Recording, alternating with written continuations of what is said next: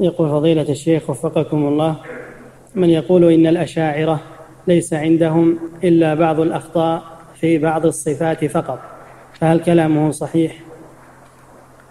ينفون غالب الصفات ولا يثبتون إلا سبع أو أربعة عشر عند بعضهم فكيف يقال إنهم ما عندهم إلا أخطاء يسيرة وهم ينفون صفات الله عز وجل وأيضا لا يعتمدون على الأدلة الشرعية في العقيدة وإنما يعتمدون على قواعد المنطق وعلم الكلام.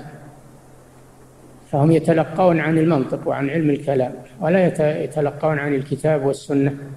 كيف يقال إنهم إنهم ما عندهم إلا أخطاء يسيرة؟ هذا إما أنه يجهل حالتهم وإما أنه يريد أن يلبس على الناس. نعم.